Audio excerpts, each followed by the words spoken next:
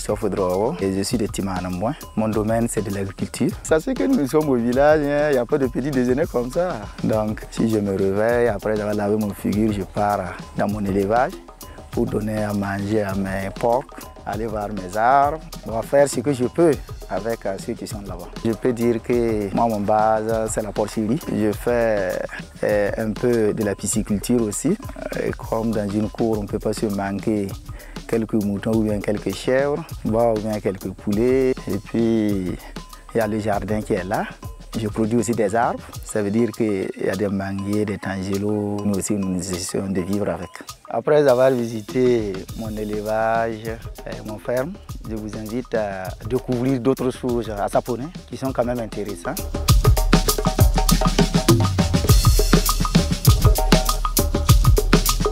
Je vous souhaite la bienvenue au musée ethnographique de Saponet qui se trouve dans le village de Kwarma, à côté du barrage. Ici, nous sommes à l'hôtel de la guérison. Nos grands-parents et nos arrière-grands-pères et nos parents se traitaient à base de plantes. Donc, quand vous étiez malade, vous venez avec le poulet, une égorge, et puis on vous donne le contenu. Soit vous devez boire, soit vous devez vous laver, ou vous devez vous rincer. Ça dépend de quel mal vous, vous aviez. Et là, nous sommes à la statuette de fécondité. Ceux-là qui n'avaient pas d'enfant venaient auprès de la statuette l'implorer pour avoir un enfant. Et quand vous avez l'enfant, vous devez revenir. Si vous dites, bon, aide-moi si j'ai un enfant, après je vais venir avec un coq. Si tu gagnes, tu reviens avec l'enfant, avec le coq, et puis maintenant, on le remercie. Ici, c'est la forge. Et c'est là on extrait le fer. On le travaille à l'enclume. Il y a le marteau piqueur, il y a le marteau qu'on appelle le, le. Et lui, sa particularité est que quand vous perdez un être cher, on ne sait pas comment vous l'annoncer, on le déposait devant vous. Donc ça veut dire que vous, avez perdu un être cher. Mais c'est qui? On vous prépare à recevoir la mauvaise nouvelle. Et même si elle le tonnerre, c'est avec lui là qu'on arrive à départager. La meule, ça permet à la femme de se défouler. Quand elle fait des histoires, soit avec son beau-frère, avec son beau-père, ou c'est à sa belle-mère, c'est en écrasant que elle se défoule. Et l'homme n'a pas le droit de dire quoi que ce soit. Quand elle est à la meule, elle peut tout dire. Mais l'homme n'a pas le droit d'intervenir.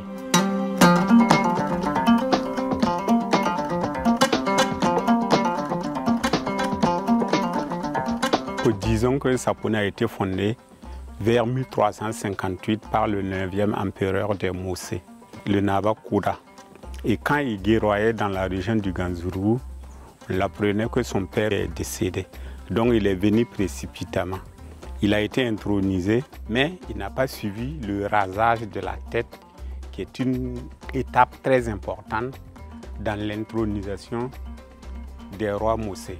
Et c'est ainsi qu'on l'apprenait que les Sisala de l'eau voulaient venir envahir l'Empire. Donc il s'est déporté pour pouvoir les repousser. Maintenant, n'ayant pas suivi le rasage de la tête, le conseil des sages a dit, promenez-vous là où vous lui trouvez, rasez-lui la tête. Et c'est de là on l'a trouvé au sud ici et on lui a rasé la tête. Et le lieu là porte le nom Sarampong. Mais avec la transcription, c'est devenu Saponé. Sinon, ça devait être Sarampong. Et quand on lui a rasé la tête, il a dit trouvez-moi quelque chose pour que je puisse porter. C'est ainsi que un germain du Niger qui partait à la région de Mopti à la recherche du sel.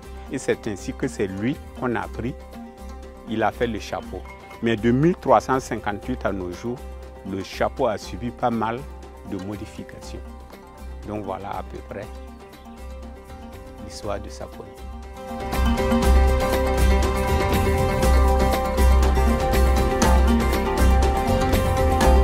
Ici, nous, nous sommes au niveau de la coopérative de producteurs de sapo de Saponet. En fait, la coopérative vient de voir le jour il y a une année de cela. Dans l'ancien temps, tout le monde connaît Saponet à travers même le nom de Sapo. Maintenant, c'est labellisé. Le monde même entier connaît le Sapo. Donc, soyez la bienvenue euh, au niveau de la coopérative.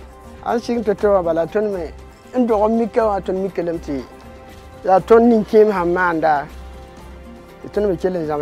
ton nji ka bata ton mi to ne ka wʋsg me la b la b n ka tʋmna wa yaa ka yõoda yĩnga bala kẽer sẽn getã a ka sekd bãmb yɛla manesga kẽer koa tɩ kẽer me. Nengẽ a sõngdb lame dal sẽn sõngdb rãmbã n ket n bee zugo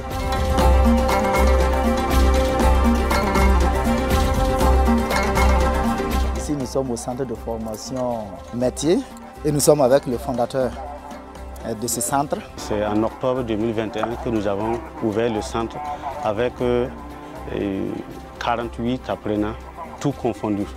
J'ai eu le goût de revenir euh, à Saponnet parce que Saponnet, d'abord c'est chez moi.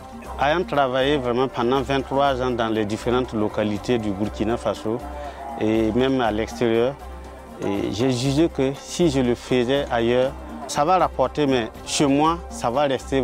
Et je pense qu'en partageant mes savoir-faire, non seulement ça va, les frères et les sœurs vont profiter et ça serait vraiment une chaîne de développement qui va quand même booster l'employabilité vraiment au sein de Saponnet. Voilà pourquoi j'ai jugé nécessaire de revenir.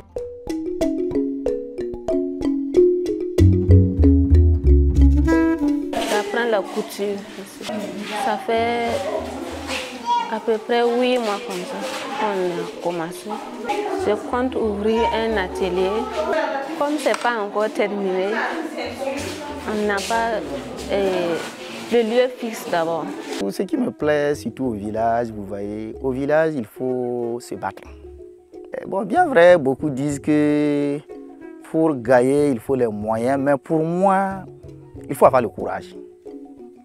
Parce que souvent, le moyen ne travaille pas. C'est l'homme qui travaille. Et si vous n'avez pas le courage, l'ambition de travailler, vous ne pouvez pas gagner. Quand on prend la saison pluvieuse, il y a l'agriculture qui est là. Malgré tout, on peut gagner ce qu'on peut gagner. Il y a le maréciculture qui est là. Bon, donc pas mal d'activités au village comme en ville aussi. Dans la journée comme ça, je peux revenir même dormir dans mon élevage ou dans mon jardin comme ça. Parce que ça me fait du plaisir. Surtout avec les porcs, quand tu es là et surtout s'il y a des petits, tu les donnes à manger, tu regardes là. Bon, c'est amusant. Voilà, souvent, je suis trop fréquent à la maison. Nous, on conseille les gens pour faire de l'élevage, il faut que tu ne sois pas paresseux.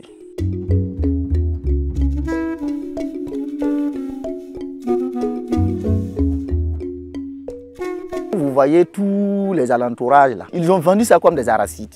C'est grave.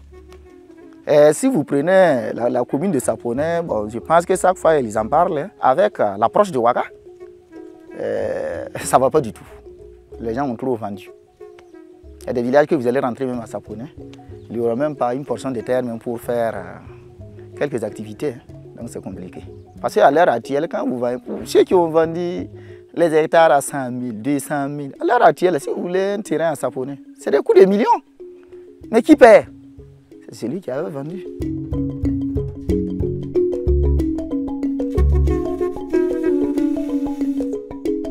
Et c'est ici que je vais vous laisser et puis vous dire au revoir et bonne traversée. Merci bien. Et on vous invite à faire découvrir les uns et les autres euh, la commune de Saponnet. C'est la belle cité. Euh, vous aurez beaucoup de choses à découvrir. Donc ne vous manquez pas.